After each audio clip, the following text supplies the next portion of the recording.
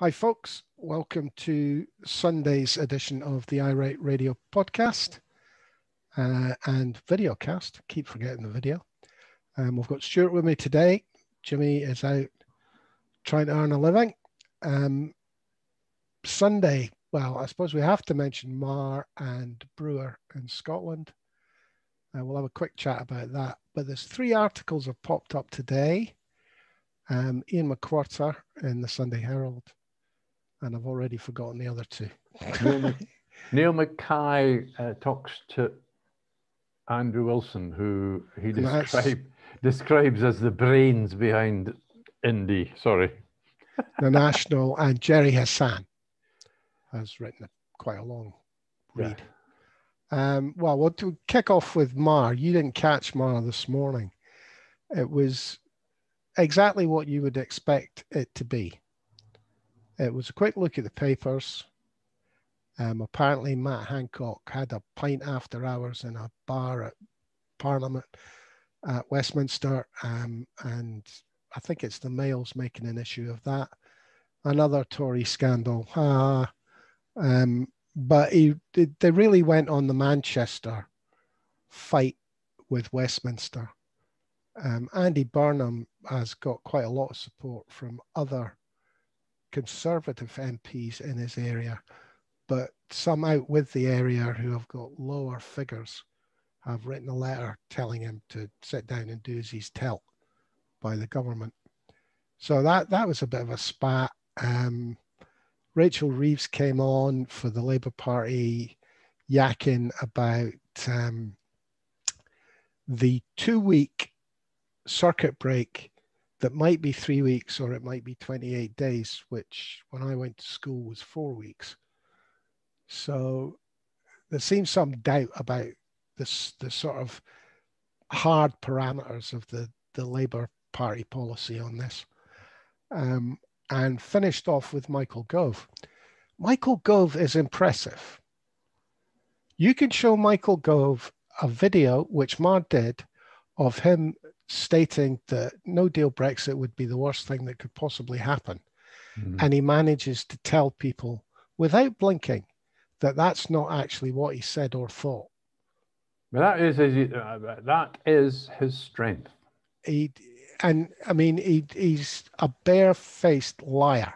But he also does it, he also delivers it. He is also the guy in the specs at the back of the class. He's not the threatening bully. So there's a, there's a lot of people. Remember how well Morris, how, how successful Morrissey was with the Smiths. You know, uh, there's always people that think Gove's okay because he's like me. Well, I mean, he just sat there and lied, kept talking, did that usual tactic of making the answer 14 times as long as it needs to be. That's but, padding, fills the time slot, doesn't it? Yeah, cuts down on the questions, mm. does all hmm. that.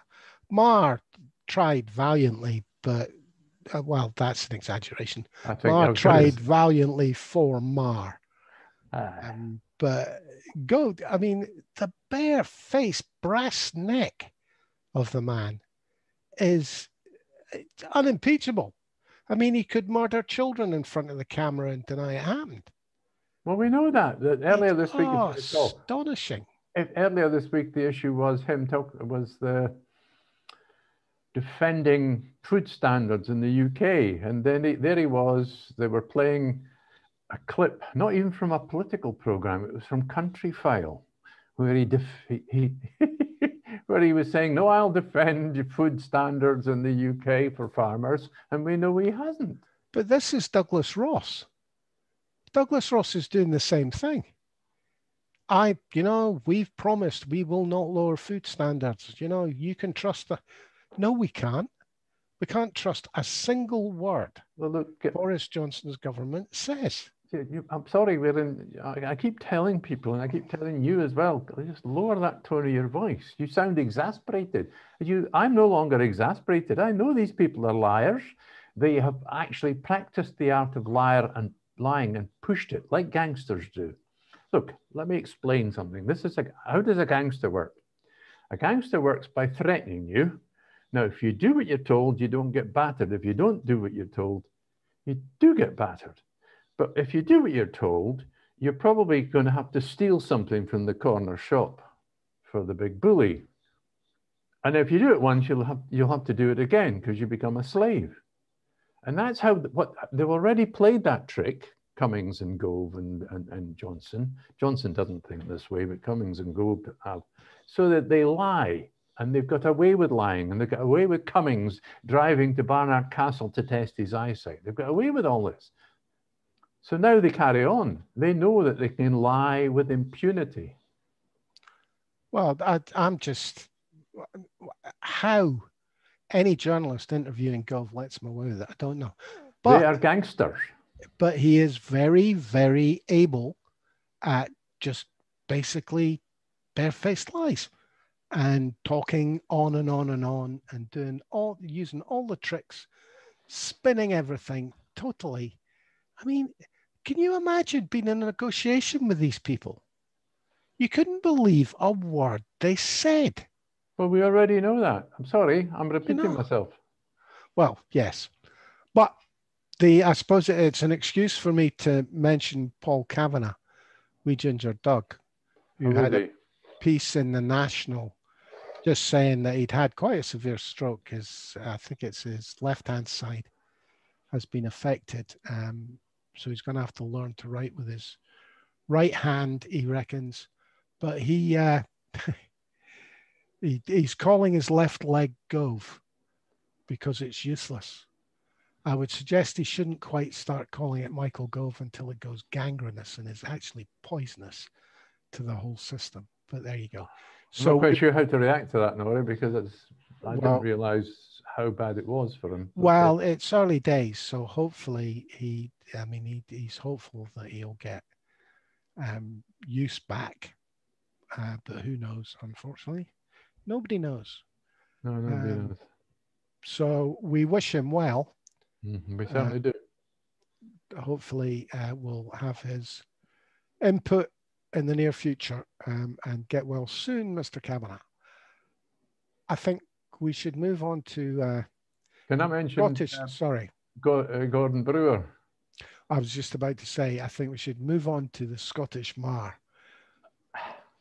Look, I, I watched the whole bit. I sat down there with a full foolscap size notepad. I wrote notes, copious notes on both sides, just to get my. This is how I remember things as you get older.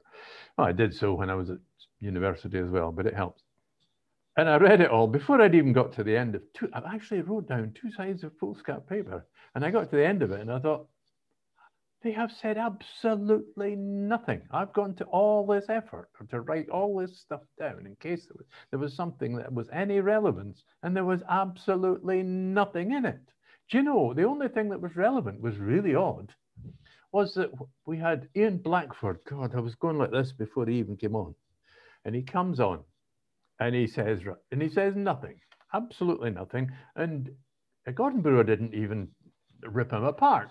And, and, and, he could have so easily because Ian Blackford said nothing. So then, after Ian Blackford said nothing, along comes Andrew Bowie. And Andrew Bowie last week got ripped apart on Twitter for something silly, but that's another issue. Leave that aside. So, Andrew Bowie, I couldn't believe what he said. He agreed entirely with, he said, Oh, I agree entirely with what Ian Blackford said. He never said a controversial word. And that's what was really interesting about today's uh, uh, well, show. I, I think what we have to take out of that, uh, there's, there's two conclusions. One is that they're going to leave all the dirty fighting to Dross, to Douglas Ross. He's, they're going to leave him to be the one that attacks Sturgeon and the Scottish government. That's one way it might be going. The other way is they've decided they've seen figures, they know something's working, so they don't want to criticize the Scottish government um, because it might be working. And if it is, they have to find a way to turn that around to it was our idea anyway. I'm going to claim uh, what, I, what I was up to three months ago, four months ago, which was the Scottish Tories kept attacking the SNP in a way that, that just, it just improved the poll results for yes. Fired, yeah. And I kept saying that every time they fired something else out. And I think maybe they've realized that, which is a little unfortunate from the yes movement's point of view, if they've actually realized how damaging it is for the, what the, their entire policy has been wrong. Well, it, it was very placid politics on Brewer, very placid. Um, and I, I, think, as as I said when we were discussing what we were going to discuss today, I think that the only really important thing is to say that Brewer's one of a whole host of people, Isabel Fraser's amongst them, yeah, who are retiring from the BBC, yeah, taking their pensions and running. Kenny MacDonald, now he's a guy I would have done a lot of time for. He signed well, education. Isabel Fraser's another one. Reevel Alderson, who did the, the courts. Yeah, yeah. Um, oh no, it's um, it's probably very. Un- it doesn't look like a. What are they going to be replaced by? Think about it. Well, there, there's some very good Scottish talent, but it's not in Scotland. It's yeah, in South. Yeah, but think about it this way. Just think about it generally. You get promoted to get on telly or on radio where people notice you on radio on BBC Scotland, right? Pacific Quay, whatever comes out of Pacific Quay. You're a new face, a new voice, and you've just been promoted. Are you going to upset your boss by saying anything controversial? No, but I mean that just to harp back a second, uh, the BBC are going to cap redundancy next year or the year after. And that is the reason these guys are going now, while they can get the, the best redundancy package possible. Um, they're calling it early retirement, but it is redundancies. I'm sure they do very well in pensions at the BBC. I'm not going to say anymore. Well, they... My cousin used to be, she worked for the BBC for a very long time. Let's put it this way I went to see Auntie Kathy show at Queen Margaret Drive when I was about six years old which was a, a kids show on radio, courtesy of my cousin who worked there. And she worked there until she retired. So, well, um, that, that is no doubt one of the reasons that they're cutting the package because they feel it's too generous. Anyway, um, let's let's move on to the Deadwood Press. Let's move on to uh, the papers today. Yes. Um, where will we start?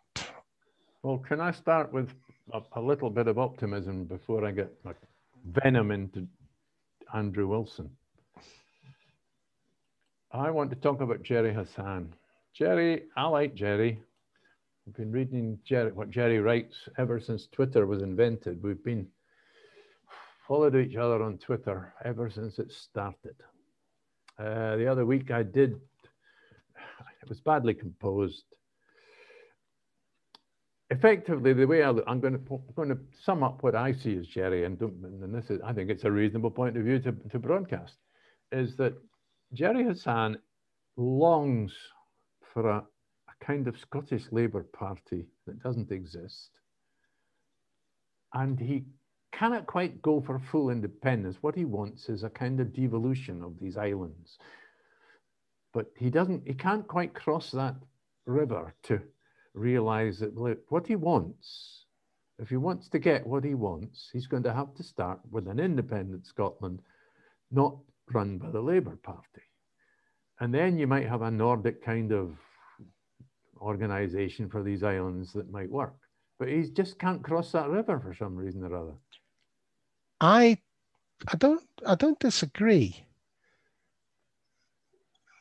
entirely. I just recently I felt that Gerry was uh, had kind of he put one leg on the side of the fence with a sign that said independence.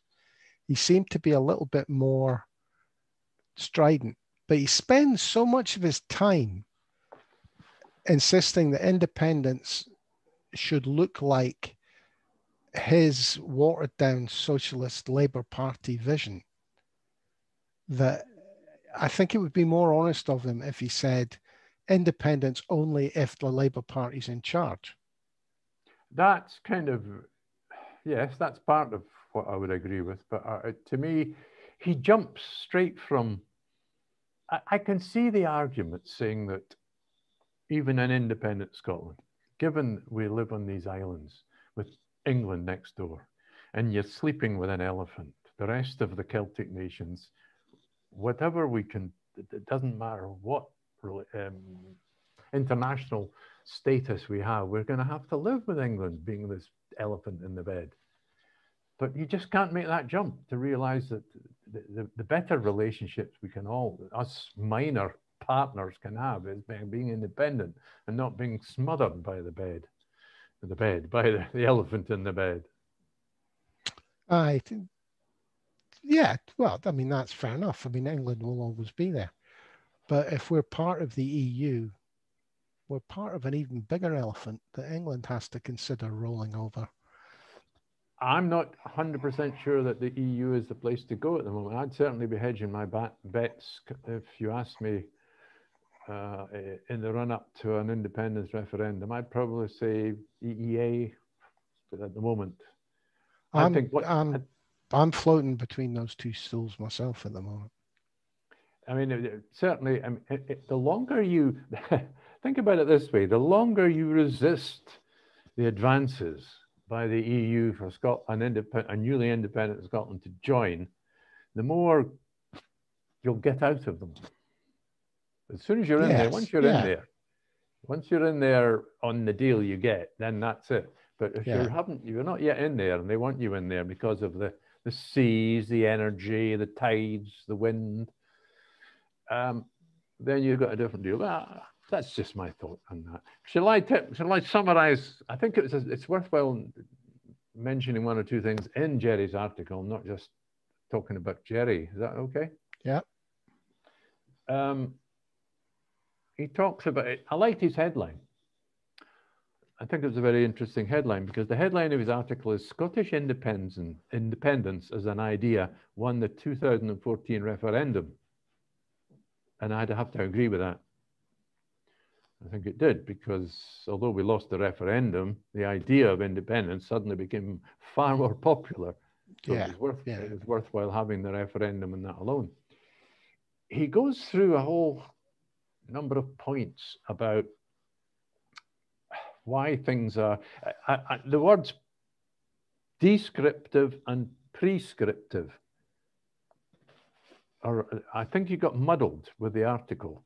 He was being descriptive about things that existed and being prescriptive in the same list. So you ended up ended I ended up a bit muddled. What are you going on about? You should have cleared. I'm becoming a bit of an analyst of other people's, people's writing, and I really don't deserve to do so because my writing's appalling. But let me just go through one or two points here. First, he says here, what's driving independence? Well, 64% of all voters think Scotland and England are moving in different directions. We're actually moving apart, and the, vote, and the polls say so. Second, Boris is toxic in Scotland. You know, he's awful. Third, independence cannot, and this is where he moves from descriptive straight into prescriptive. Independence cannot become identified with the inadequacies of present, Scot present day Scotland. Okay, fair enough. That's Now let's go back into descriptive. Uh, uh, no, he's stuck in. He's still stuck in prescriptive. The detail of independence matters. So does the wider philosophy. Um, we have to embrace mature, growing up. So that's in prescriptive. Um, descriptive. Independence involves a psychological dimension about risk. Now, risk. The risk factor has totally changed. Back in 2014, the big risk was to go independent. Now, looking at the state of the UK, it's a, it's a, it's, it, it starts to become a bigger risk to stay, doesn't it? Well, I, you know, do you want to win the referendum, Gerry?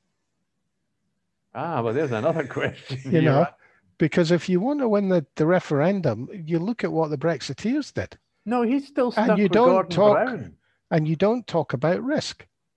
You talk about sunny uplands you know, if if Brexit has taught us anything, it's just ignore the downside and and uh, here I'm talking about fighting a, a, a referendum. I'm not talking about the reality being risk free. But if if you're going to have a campaign that talks about risk, you're asking to lose. And if, it, if risk becomes a big topic, you talk about the risk of staying. You don't talk about the risk of exactly. leaving. And that, I mean, he does mention that. That's the flip side now. You you look at the union and you say, right, isn't that riskier than independence? And, and you could argue that's why we've got other, you know, there's an argument, oh, Nicola Sturgeon, hasn't she done well? Well, she has done well, but also there, there's the, the, there's the driving force of looking at what's happening south of the border. And generally speaking, I, there, there is little dispute that Scottish people, generally speaking, vote left of centre, not not right of centre. They have done all my life, apart you know, apart from when I was a bairn. Yeah, yeah. I, well, I think that's true. I I think that, and I would be interested to see how Gerry wrote if Richard Leonard Leonard came out tomorrow and said the Labour Party will support an independence referendum. I I think we would see different words on the paper from well, Gerry. Let, me point out that uh, today's press includes uh, articles that saying that the STUC have their annual conference in about a month's time. And apparently they are expected to support a second independence referendum. They were, they are, they cannot necessarily support a yes, but they will yeah. certainly support a second independence. That will be their policy at the, at the upcoming conference. Now that's new. Yeah, that this was talked about last week, wasn't it? Um, and this is this is to do with the internal market bill and the um, the loss of power for the devolved governments. I think that the trade union movement in general prefers to deal with devolved governments rather than Westminster for obvious reasons. I mean, they're both, well, the SNP is centre, if not left of centre. And obviously in Wales, it's the Labour Party in charge. Um, they would, I would imagine, would rather speak to. And the, I think it'd be fair to say the SNP have had the door open to the unions fairly consist- consistently. So they, I think they maybe think they've got a little bit more leverage with the SNP. Who knows? Who knows? So uh, Gerry moves on to the defense by the unionists in, in the next referendum. And he talks about something called transactional nationalism. And I've yet to look that up. I should have done. It sounds like something I should know all about. Transactional nationalism. That's all about, with the devolution, we've got the Barnett form, formula and the fiscal transfers across the UK. Now, they're a long way away from being a clear reason to vote one way or the other anymore. There was a time when, even up to last week, or two weeks ago, you had these Tory MPs in Scotland saying, look at the 700 million pounds we gave you and the 7 billion we gave you. And as soon as they say that these days, somebody else fires up, yeah, but we paid twice as much in taxes. So it, it, that I, argument is, is fading. The power of it is fading. I, I am almost certain that this um, internal market bill will allow the Westminster government to spend Barnett consequentials on behalf of Scotland in Scotland on whatever projects they decide. The STUC, uh, the bit I read about the STUC coming up with an expected policy includes referring to that. Well, Michael Gove has specifically said uh, in front of the Holyrood Committee that that will not happen. So I, so well, I, will. So I am almost certain it will happen. I'm almost certain it will. So let me just summarize, summarize what this transactional nationalism looks like according to Gerry.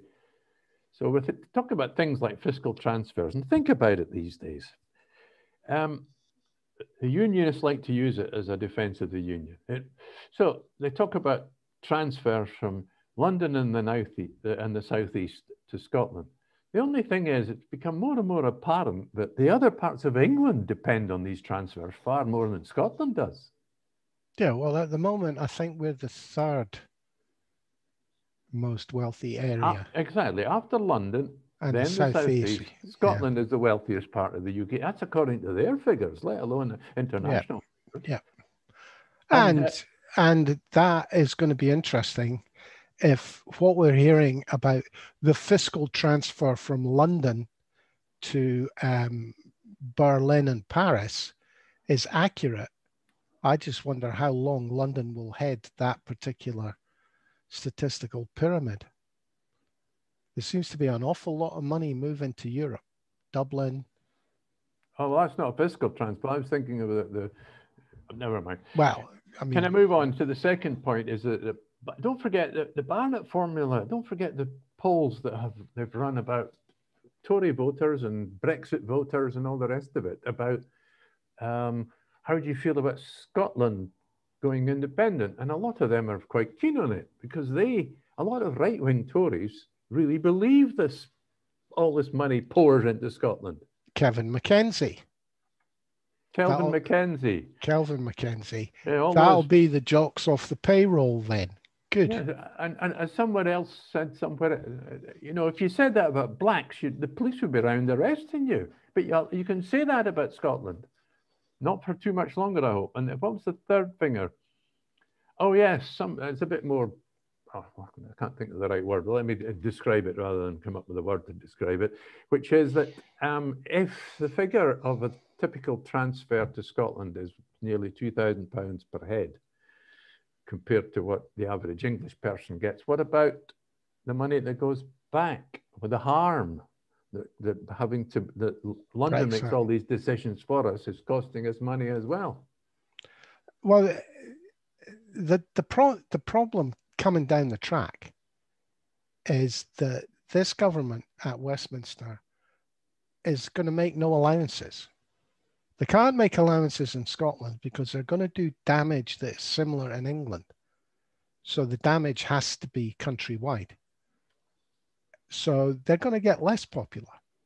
The nothing I can see nothing on the horizon that would help the unionist cause at all. Nothing.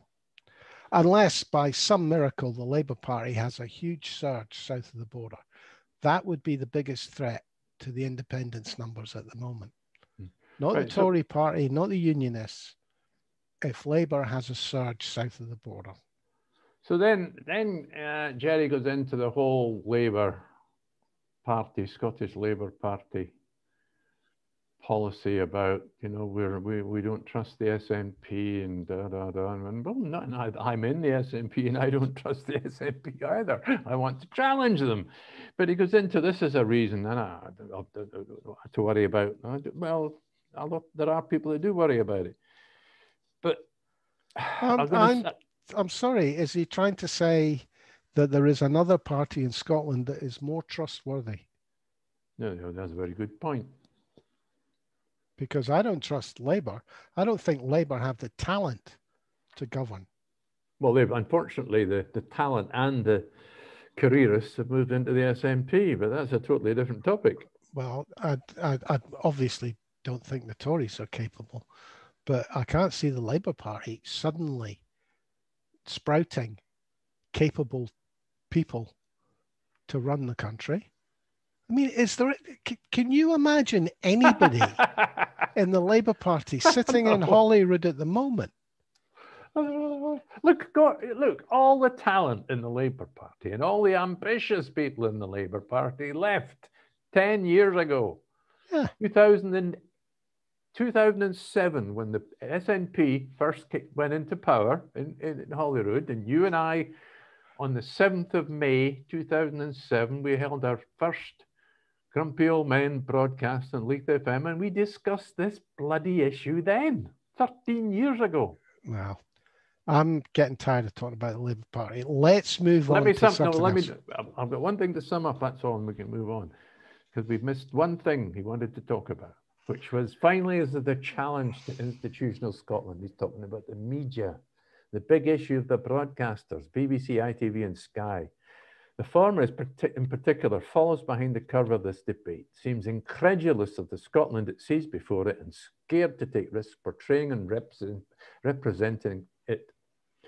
Um, and I mean, I don't the, like the way he le- he leaves the media to the very last thing because the media is second on the list of the most important barrier to us getting independence legally, safely, without violence and But- respect in the world. But if you're looking for change, it's a total waste of time having a paragraph on the media anyway.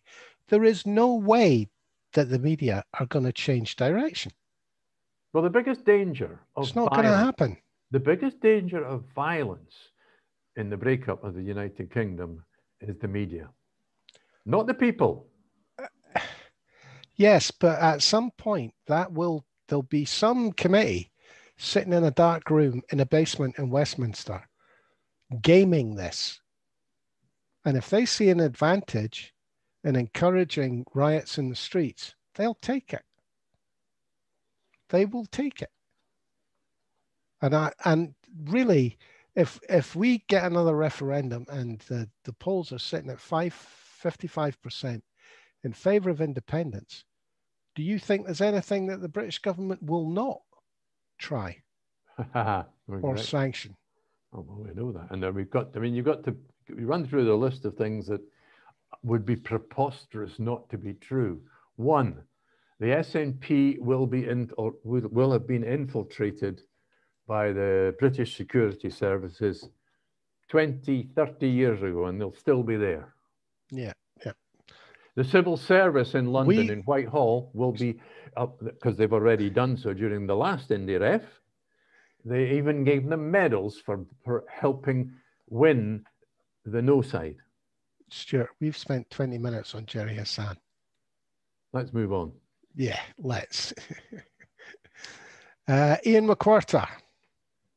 Ian, I'm not sure. I can't remember what he had said. I think the one that really upset me was that, um, Andrew Wilson, but Iain MacWhirter, let's take back control, said the Brexiters.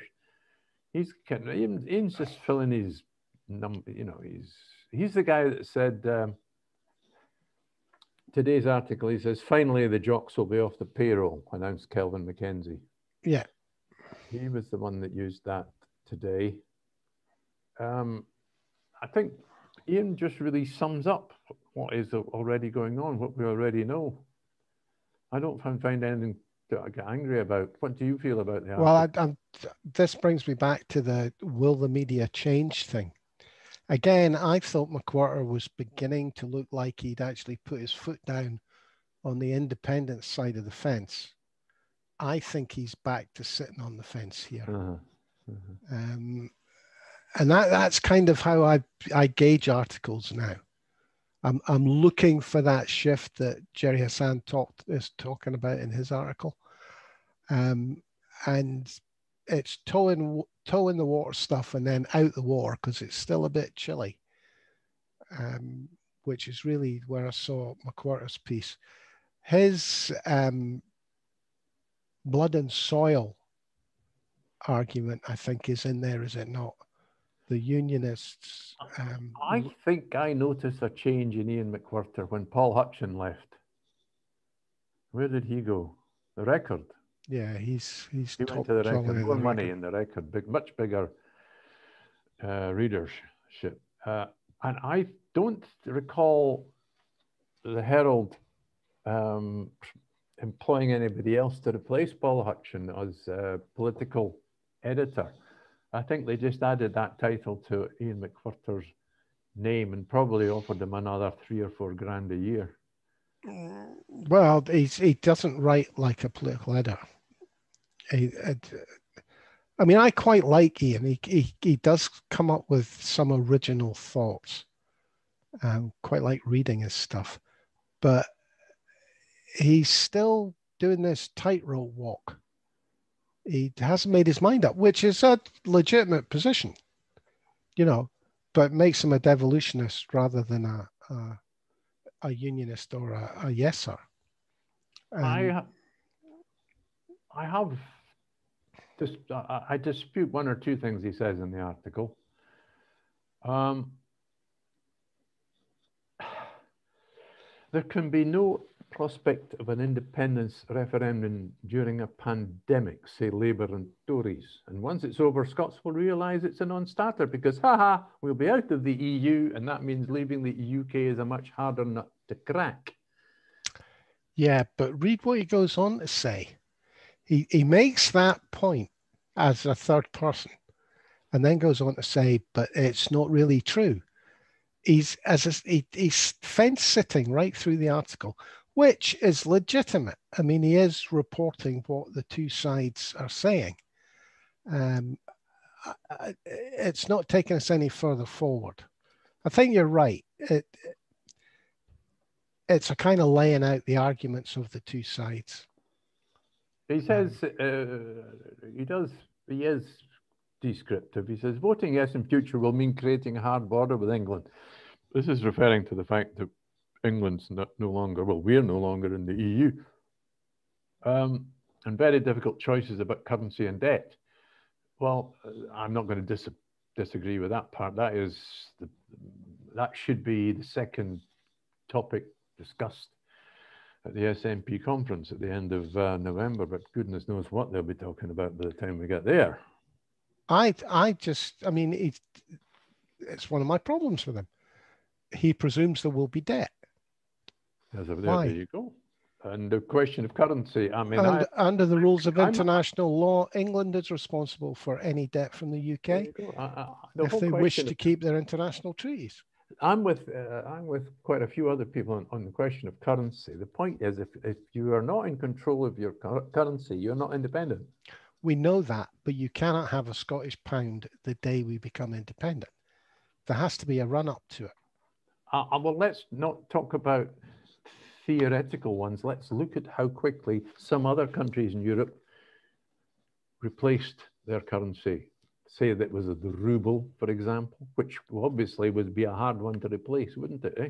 Given the threats you would get if you're going to replace the, the ruble. I mean, there'll be games played. There'll be a, a Scottish pound created that is linked to sterling. You know, I mean, we'll have our own currency when it's politically necessary. Yeah, but but rather Andrew, than when Andrew it's economically Wilson, necessary. But Andrew Wilson is suggesting we've got 25 years, uh, and he's implying almost in that we'd be stuck with the pound for 25 years. We'd go down with England economically if we were I, stuck with it. I'm not actually sure why people give Andrew Wilson so much credence. Well, neither I really don't. I mean, the economics of the world are, are changing. It might well be the case that three years from now, Andrew Wilson is completely right. But right now, he's not completely right. And in 18 months, he'll not be completely right for different reasons. I mean, the, the changes that are going to happen over the next pro- probably two years, maybe five, because of coronavirus, because of different ways we're going to work. Brexit. Brexit, technology that's going to kick in that normally would have taken a much longer period. Um, all these things are going to change the economic landscape. And nobody who produced something two years ago is going to be right. Mm. Well, look, uh, one or two points that, that Iain MacWhirter says, I do agree with him. During COVID, Scots realised just how much devolution has changed the equation of governance. Life and death decisions are now taken in Holyrood. Sturgeon has played a blinder. Um, recently, she's been advance, in advance of the UK government in imposing lockdown. Well, I'm not going to go into the details of that. That's really not the point. But he sums up the border with England is no longer seen as some relic of a na nativist past. Never make up, can't make up my mind what that means. Basically, borders keep you safe or safer. In this sense, Brexit has done the nationalists' job for them. Take back control, they said. We need to make our own laws. Increasingly, Scots are saying aye. Yeah, and I would like to point out his uh, his unionist bias by not pointing out that decisions are limited for the Scottish government because they cannot borrow money to recompense businesses they ask to close. Uh, and this is a, a, an omission. Then why can't they borrow money? Because we're because we need permission from Westminster. We have less powers to borrow money than an English county. Do you know that? Well, the point I'm making here is this is a, an omission that is common to just about every single article from every single side that discusses what the Scottish government should do differently or has done differently. The Commonweal produced an article the other day with no mention of money. And the, I mean, the Commonweal surely believes people should be supported when they're asked to self isolate, etc. Uh, Craig Dalzell had no mention of money in that article. Uh, MacWhirter has no mention of the money in the article.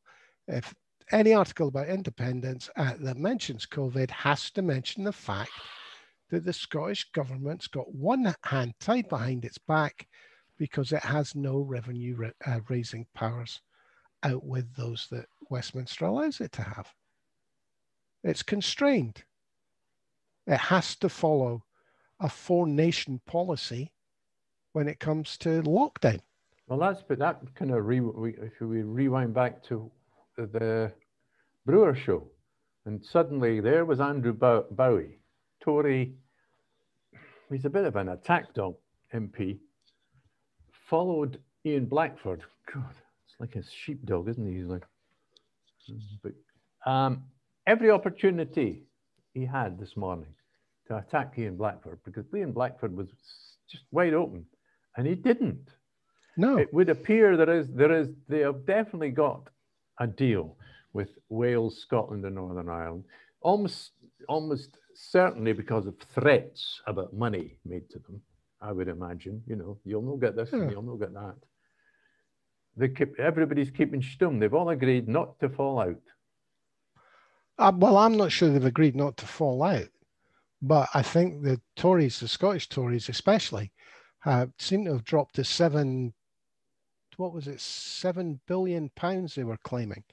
I think that's going lots to... of which was earmarked specifically. You know, why why is the Scottish government only paying out 40 million? That's 40 million out of the Scottish government coffers, not Westminster coffers. Hmm. So it's 40 million. So it would be 400 million if the Westminster government were to do it, added on to what they're doing presently. You know, but they're spinning, and I think they've I think some of them have realised. Kate Forbes ripped uh, Dross to pieces over it on Question Time. But I gather the, the Tories re-edited. yes, they edited out, edited out her answer. Yeah. yeah, it's exactly what they did. And on that note, because well, we've, we've run on a bit. Shall we have some good news then? Right. Okay. The bookies outside the UK have now put the odds on that Scotland will get its independence in the near future. And that's not 1926, Mr. Wilson. Mr. Wilson, I have too much to talk about to talk about him today. I'll save him for tomorrow. Um, and I hope everybody else has noticed. Those of you who are uh, listening on the podcast, behind me it says Trump COVID super spreader event this way apparently uh, some enterprising locals have stuck up some signs near Trump's latest rally. All right. All right. I'm, I'm, I will be interested to see if the First Minister ends up with figures in about a week's time for those that travelled south to watch the Old Firm game. Well, think how tight that margin was. Um, after all, Lancashire went into tier, level tier three. And um, the BBC managed to have a report about some old firm fans in a pub in Carlisle.